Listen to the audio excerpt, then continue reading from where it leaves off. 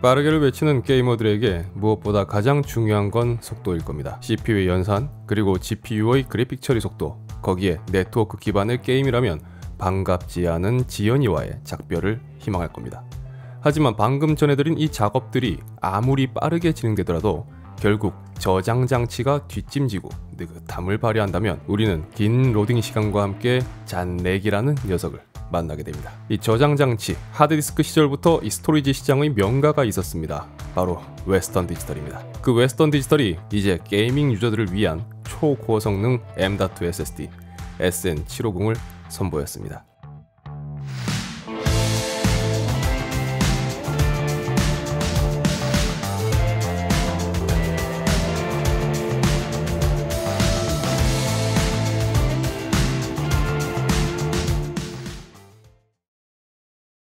블랙 웨스턴 디지털의 storage를 사용해본 분들은 아실 겁니다. 가장 고성능 그리고 최상단에 위치한 그래서 설레이는 컬러죠.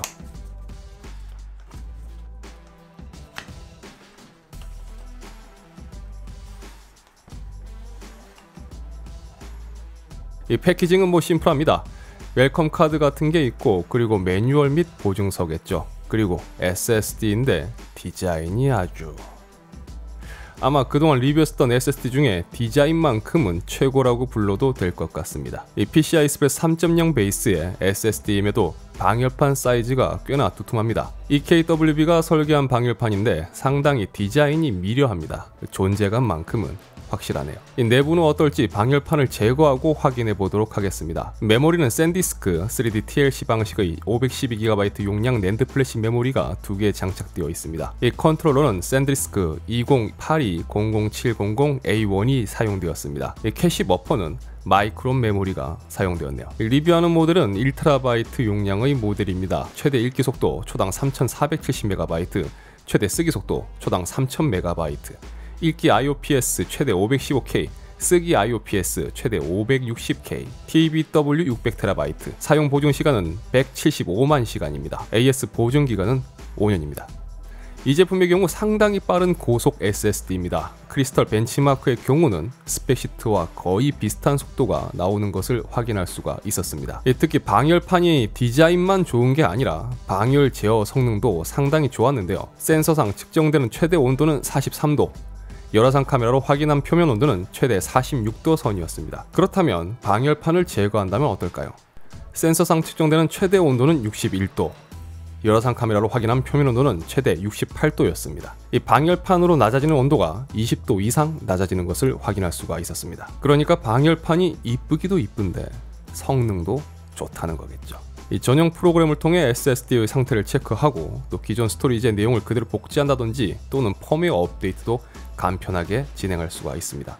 다른 SSD에서 100GB가 넘는 다중 파일을 복사해 올 때도 안정적으로 속도를 유지해주는 모습을 볼 수가 있었고요. 게임을 온라인에서 다운로드 받을 때도 꾸준히 안정적인 속도를 유지해주는 것을 볼 수가 있었습니다. 600GB 이상의 데이터를 채운 후 테스트를 진행했을 때도 속도 부분에서 크게 저하되는 부분이 없었으며 33GB 용량의 영상 프로젝트 파일 묶음을 그대로 복사할 때도 꾸준히 안정적인 속도를 유지해주는 것을 확인할 수 있었습니다. 이 제품을 사용해 보면서 느낀 부분은 시스템의 빠른 퍼포먼스를 끌어내고 싶은 게이머 또는 영상 편집 등 다양한 대용량 파일을 읽어드리고 또 렌더링 해야 하는 작업에 최적화된 제품이라고 생각이 들었습니다. 뭐 SSD를 생산하는 제조사는 많습니다. 하지만 SSD는 퍼포먼스와 더불어 안정성도 상당히 중요합니다. 오히려 1TB의 온라인 최저가 26만원대라는 가격적인 부분까지 감안해 본다면 상당히 가성비가 우수한 녀석이라고